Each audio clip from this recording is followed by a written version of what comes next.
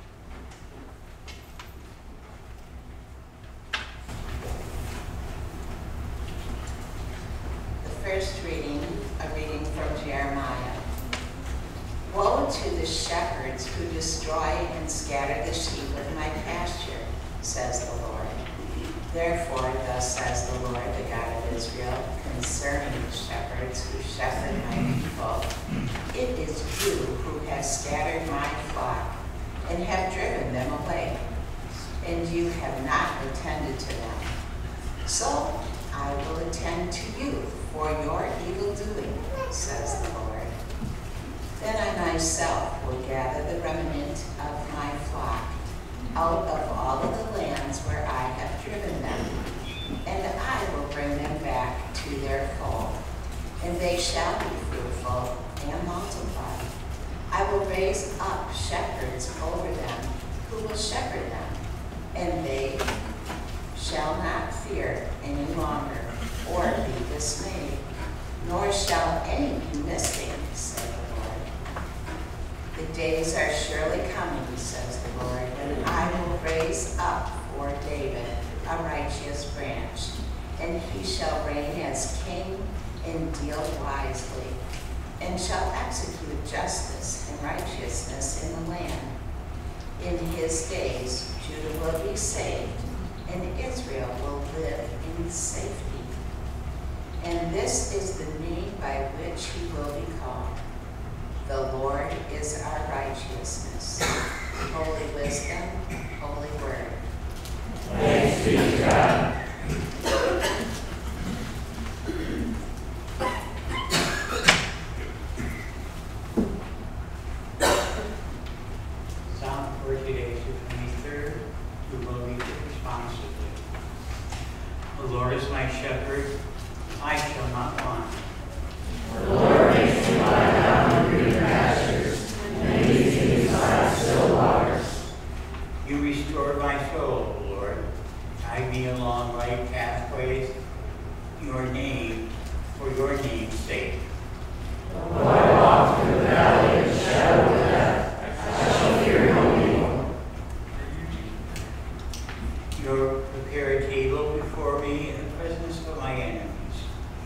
anoint my head with oil, and my cup is running over.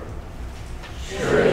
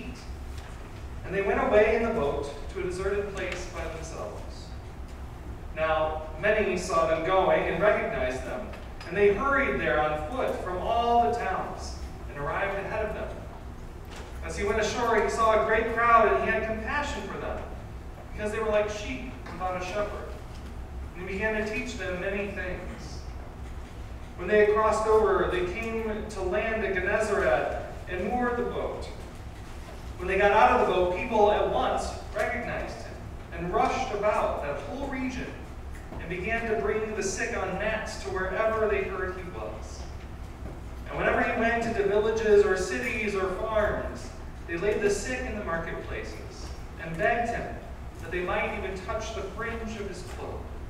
For all who touched were healed. The Gospel of the Lord. Praise, to you, Lord Christ. You may be seated. And I invite any children who are with us this morning to come on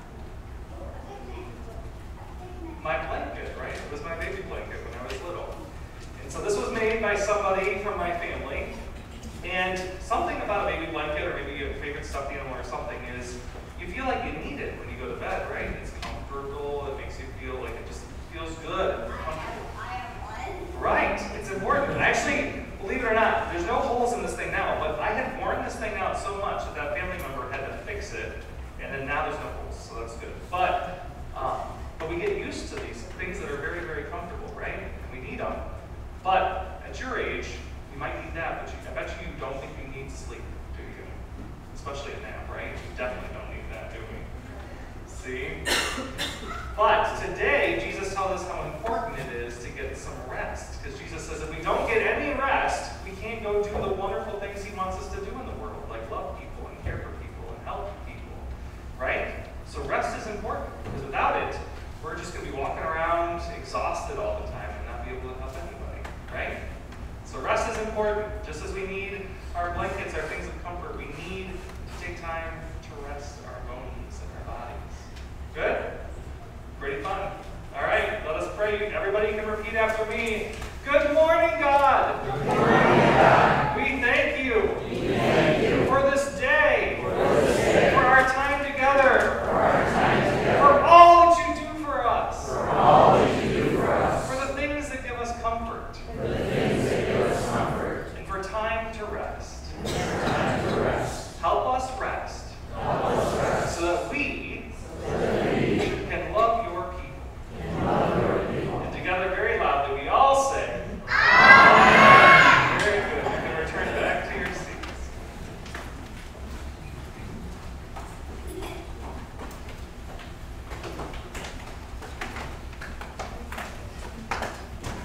Grace to you and peace from our loving God, Father, Son, and Holy Spirit. Amen. 16,000 young people are roaming around New Orleans this week. Here's why. New Orleans local news published an article with that title this past week, and here's how that article begins. This week, if you see groups of young people wearing brightly colored t-shirts roaming the corners of downtown New Orleans, know that they come in peace. Around 16,000 youth and adults from the Evangelical Lutheran Church in America have gathered in the city for fellowship and to participate in service projects as part of the church's triannual event. Each day they'll rotate across 200 different locations to help improve city spaces. They're helping clean up parks operated by the New Orleans Rec and Development Commission and paint playgrounds. They're working with the city's public works department to clear storm drains of debris and litter. They're helping beautify the outdoor areas of the New Orleans Women's and Children's Shelter, newly built to support expanded bed capacity. This article almost reads that you won't be able to miss this large group of young people as they travel to and from worship, as they enjoy delicious beignets, and as they serve this community. Something incredible is happening here. These young people, they're making a difference. A couple weeks ago, we heard about that time Jesus sent his disciples out to continue the work he was doing. The 12 were sent to heal the sick, to cast out demons, and to share the love of God with those who welcomed them. Today we pick up as they are returning. They tell Jesus all that they did, and they head out in boats to find a place to rest. But we read that the crowd recognizes them. The crowd were already gathering when Jesus was doing this work, but now the disciples have joined in. That's more hands reaching out in care, more voices speaking a message of love and grace from God. Something incredible is happening, and you can't help but notice. So many people are now experiencing the wonder of God at work in their midst. Now, we can look at the sending of those first disciples. We can look at the National Youth Gathering and see that these are special places where God is at work through young people. But what we also must remember is that God calls and equips us to do the same. We live into the same hope. Jesus calls us to share the same message of love and grace with those we encounter. So often at Pilgrim, I hear new folks share of the welcome and sense of belonging they felt when they first walked through the doors here at Pilgrim. I really do think that this is this place has a wonderful energy about it, a way of love that is spirit-filled and tangible to those who join in. And, dear ones, our call is to extend that far, far beyond these walls. Everywhere we go, people should not help but notice that something is different about us. Not because we are extraordinary, but because something extraordinary drives us. Something otherworldly calls us to live in a way that heals divisions, that meets the sick with unparalleled care, that boldly embraces those we like and those we're inclined not to like. We come in peace. The crowd should notice, for God's wonder is on full display. And then we wear out. As I wrote this sermon a couple days ago, I anticipated that we would not see any, any of our youth gathering folks this morning. And I'm pretty sure I'm right. Now, their flights landed when almost all of us were asleep. And I received a safe arrival at home text at 3 a.m. this morning. They have learned and served in a hot and humid city. They have poured themselves out while being poured on. They have worn down and they need rest. In our story, Jesus looked at the disciples and we imagine him saying what we learned we never should say to anyone You look rough. the disciples did amazing work, but had little time to rest or even eat. Jesus tells them that rest is important and invites them to travel away from the needs of the world just for a little while. For some, rest is very easy to attain. It can be quite difficult for others in a world that can demand so much from us. Perhaps the hardest thing about leaving New Orleans for our youth was saying goodbye to new friends and leaving work that they know still needs done. Perhaps the hardest things for the disciples to set down was the healing of those knocking on their door so desperate for help. Resting can be difficult, friends, because it requires trust. To rest, we must trust that we are not God. And that God will see that the work that needs done continues as we pause to care for ourselves. So today, dear ones, let us learn from the 16,000 gathered in New Orleans. Let us learn from Jesus as he equips his followers. Let us be ourselves. Let us dare to simply show up as who we are and trust that God will do wonderful things through us. And when we find ourselves worn out, when we are overwhelmed by the hurt of the world, when we simply can't muster the strength to keep going, let us dare to rest. Let us trust that God will continue this kingdom work in Galilee, Gennesaret, New Orleans, Marysville, and throughout our world. Moved by God's wonder and called to both serve and rest. All God's people say. Amen.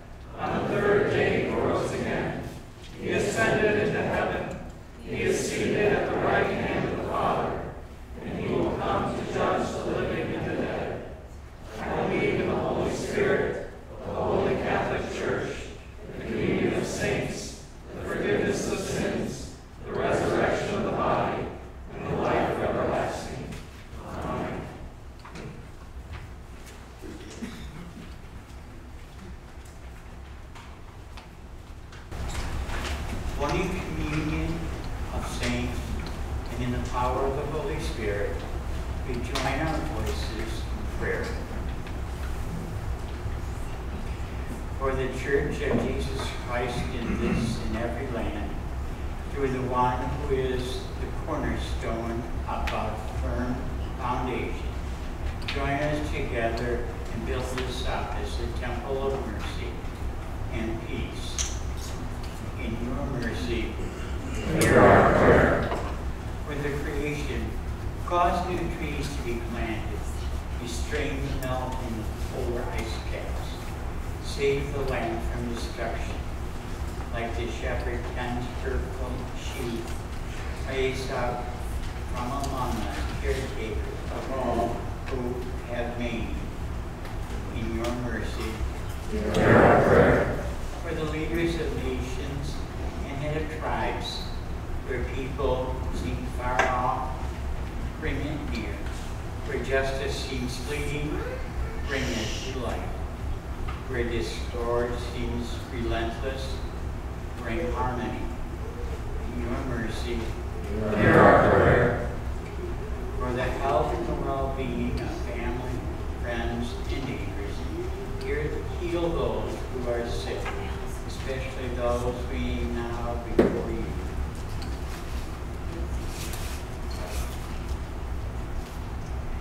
Give courage to all who struggle with addiction.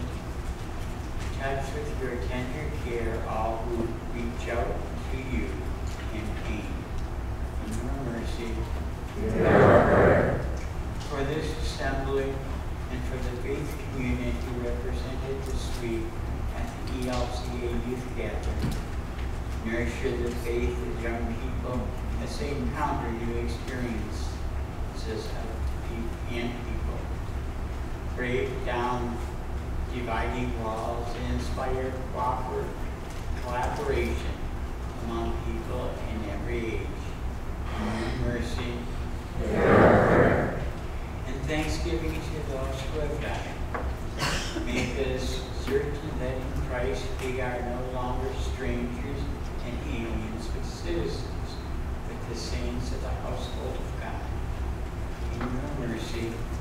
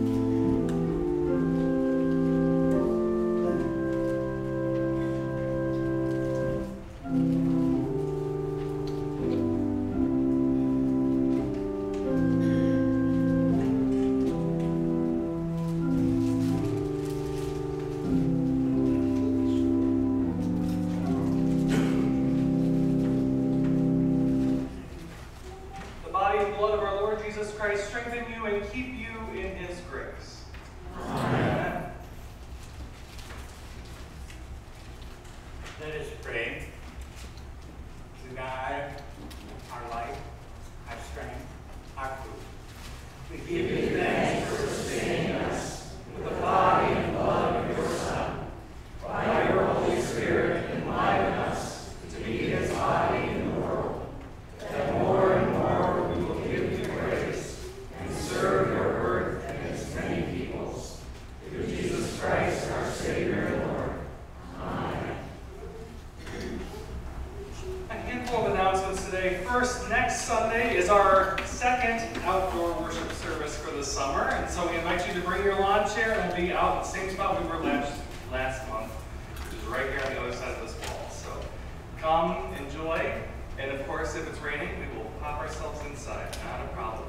Next Sunday, we also have our first communion class that will be starting, and so those people know who they are and when that will be, which is good.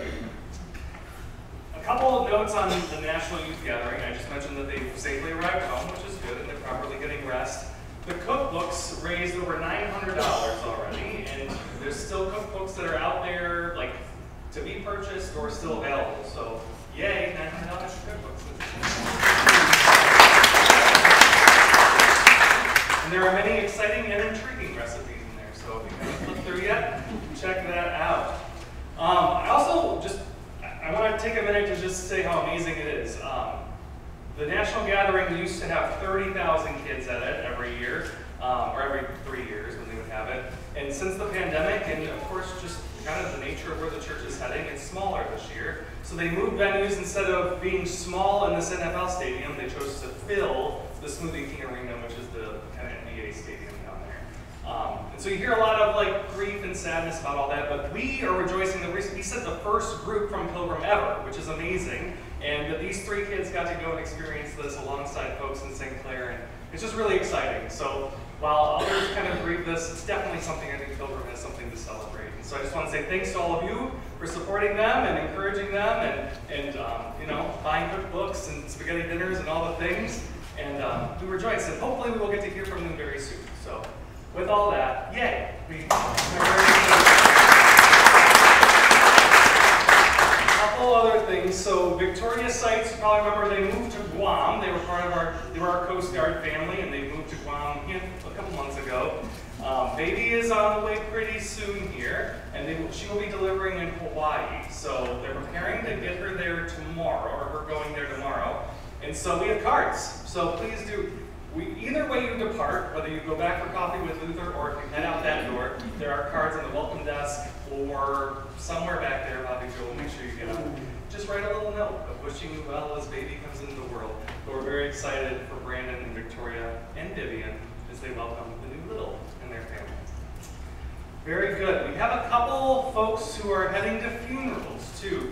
So Madonna uh, Lukic, her brother's funeral is, her memorial is today. And then Uncle Max's funeral, um, which is Pam and Rob Clearwood's uncle, his funeral is today as well. And so we hold all of them in our prayers as they go and grieve and celebrate the good news of the resurrection for their loved ones.